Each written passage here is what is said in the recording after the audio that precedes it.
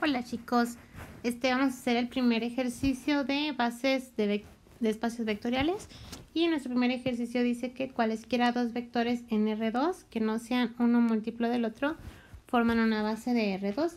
Para demostrar esto hay que verificar dos cosas, o sea las dos propiedades que se necesitan para hacer base. Entonces las propiedades son que los vectores sean LI y la siguiente es que generen a mi espacio vectorial, en este caso R2.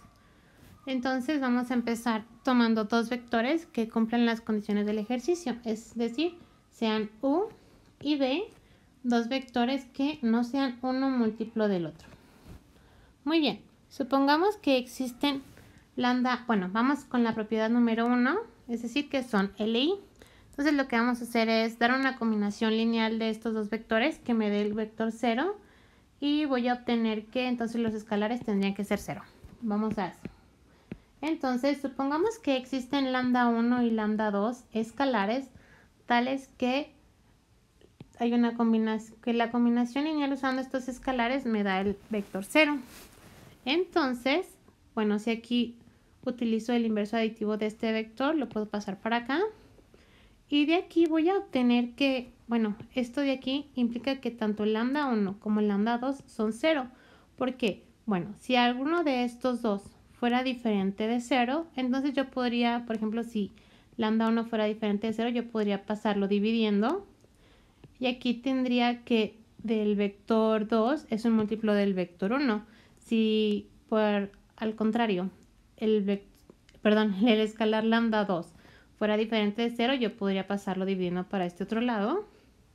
Y otra vez tendría que el vector x2, y2 es múltiplo de x1, y1. Pero dijimos que eso no puede ser, esa es nuestra hipótesis.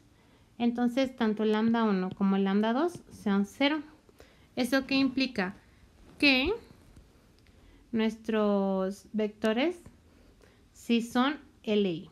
¿sí? Entonces, sí se cumple la primera propiedad porque vimos una, una combinación lineal que da 0 y obtenemos que los escalares son 0. Entonces, los vectores sí son LI.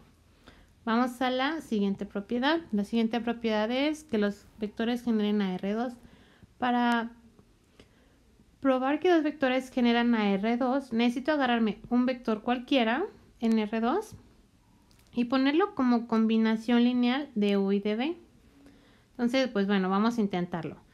Entonces, aquí pongo A, B como combinación lineal de U y B. ¿Sí? Yo desconozco estos lambda 1 y lambda 2. Pero si esto se cumpliera, bueno, esto se cumple sí, solo sí. Pasa esta otra igualdad. ¿Y qué fue lo que hice? Pues nada, meter los escalares a, la, a los vectores, ¿sí? El siguiente, bueno, ¿qué es lo que hice? Hacer la suma coordenada coordenada. Muy bien.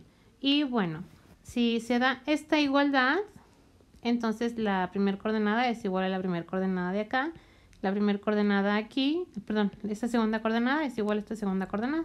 Entonces obtengo estas dos ecuaciones. Entonces vamos a tener que, yo puedo poner a A, B como combinación lineal de U y B siempre y cuando este sistema de ecuaciones tenga solución. Entonces, bueno, pues lo que queremos ahora es encontrar lambda 1 y lambda 2 que cumplan el sistema. Entonces, si se fijan, lo que tenemos aquí es un sistema de dos ecuaciones, corazón y rombo. Y estamos en dos variables, lambda 1 y lambda 2. Entonces, ustedes ya saben hacer eso. Y bueno, yo también ya lo hice. Entonces, créanme que cuando uno hace las cuentas, aquí le puse tres doritos después, porque es fácil, pero son muchas cuentas. Haciendo las cuentas obtenemos que si el sistema sí tiene solución y es esta lambda 1 vale esto y lambda 2 vale esto. Notemos que ambos tienen el mismo denominador. Entonces, que existe, bueno, que estas sean las soluciones no nos garantiza nada. Para que nosotros podamos garantizar que estas soluciones nos sirven, pues necesitamos que estos números de abajo, estos denominadores, sean diferentes de cero, porque recuerden, si dividimos entre cero el mundo explota. Pero no nos preocupemos, chicos. Esto x1, y2 menos x2, y1 es diferente de 0. A fuerza, chicos. ¿Por qué? pues aquí lo dice. Si fuera igual a 0, si esto fuera igual a 0, entonces pues yo podría, este, esto que está restando lo pasaría sumando y obtendría esta igualdad. Y esta igualdad es cierta si solo sí, y lo que hago es pasar las y's dividiendo al otro lado. Y tendría esta ecuación. Que esta ecuación se cumpla quiere decir esto, ¿no? Que existe un lambda que está multiplicando arriba y abajo, o sea, está multiplicando por algún 1. Este, listo. Pero ¿esto qué quiere decir? Que x1, perdón, que un, ajá, que x1, y1 es múltiplo de x2, y2. Pero nosotros habíamos dicho que eso no era posible. ¿Por qué? Porque dijimos que b y u no eran múltiplos uno del otro. Entonces, esta igualdad no se puede dar, esta igualdad no se puede dar, esta igualdad no se puede dar, esta igualdad no se puede dar. Por lo tanto, esto tiene que ser diferente de cero.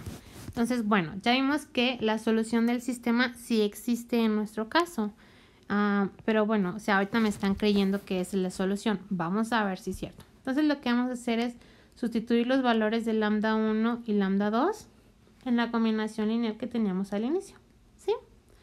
Entonces, aquí está, lambda 1, lambda 2. Y va de nuevo, yo quiero llegar a que esto es igual a A y B, A, B. Entonces hago mis cuentas, meto este escalar multiplicando en cada una de las coordenadas. También aquí meto este escalar multiplicando en cada una de las coordenadas. Entonces obtengo todo esto y todo esto. Noten que aquí esta es la primer, el primer vector y aquí ya le estoy sumando la primera coordenada del segundo vector.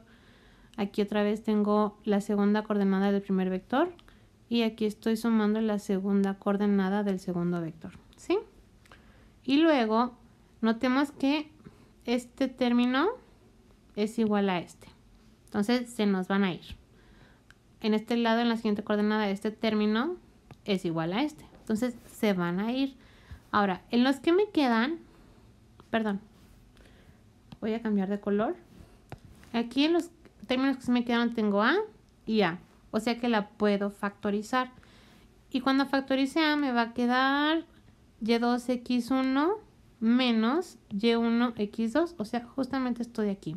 Entonces, esta coordenada de aquí realmente es A.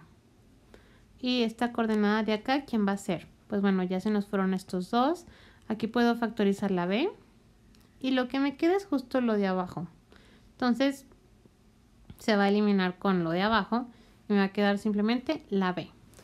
Entonces lo que acabo de hacer justamente es poner a A, B, el vector A, B, como combinación lineal de U y B.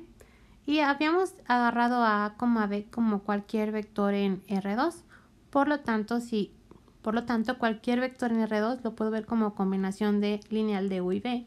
Eso quiere decir que U y B sí generan a R2 y por lo tanto sí cumplen la segunda condición de ser base y estarían cumpliendo las dos condiciones. Por lo tanto, pues sí son base de R2 y listo. Ping pong papas. Ah, si tienen dudas, por favor.